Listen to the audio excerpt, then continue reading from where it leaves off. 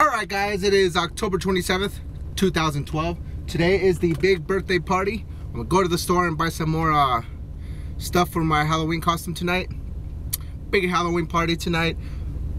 Four more days till Halloween. It's getting closer, it's getting exciting, it's gonna be a good time. Tonight's gonna be a really good time. I'm gonna try to get as much footage as I can.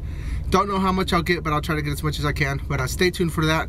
Like I said before, I'll probably make it into different parts. But um, four more days. Tonight's the big bash. You will see what I'm gonna be tonight. I won't say it right now, but uh, stay tuned right now. I do have Max right here. What are you gonna be, Max? Statue of Liberty. Mia right here. What are you gonna be?